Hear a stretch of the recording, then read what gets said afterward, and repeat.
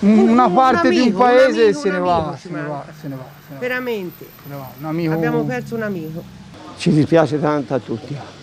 Anche l'Aretino oggi piange Paolo Rossi, l'eroe della Mondiale 1982, morto nella notte all'età di 64 anni, stroncato da un male incurabile. Questo 2020 si è portato via anche lui. Pensato subito a questo. Ano di Prato era diventato cittadino del comune di Bucine da alcuni anni e aveva così scelto la Valdambra per vivere. Avevo 17 anni, per me era un idolo. Poi dopo, avendolo conosciuto, è diventata ancora una persona ancora più, più grande, diciamo, perché nella sua semplicità sembrava una persona irraggiungibile alla mia età, vedendolo in televisione e averci fatto gioire col campionato del mondo e dopo trovarlo nella strada così che il primo che dava il saluto era lui, è stata una cosa bellissima. Qui assieme alla moglie gestiva Poggio Cennina, un resort con un'azienda agricola dedicata al biologico. Una persona veramente come noi, una persona molto umile, molto solare, molto gioviale.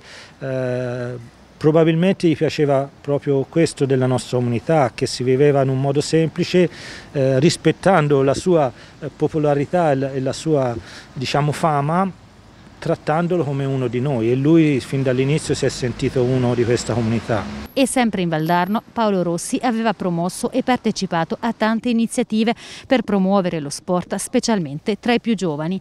Eh, il nostro Paolino perché era uno di noi, aveva sempre quella faccia a bambino, no? quella faccia stupenda con quel sorriso in bocca che veramente era una gioia stare insieme a lui. Paolo Rossi si è spento al Policlinico Santa Maria Le Scotte di Siena dove era ricoverato dopo l'aggravamento della malattia. Un campione di gentilezza nello sport ma anche nella vita, forse soprattutto nella vita perché abbiamo avuto tanti scambi di idee proprio su questa cosa. Lui è una persona molto, lui diceva sempre che bisognava essere veri, bisognava essere come uno si sentiva e non artefatti. Quindi è una persona che anche in questo si è avvicinata molto al popolo.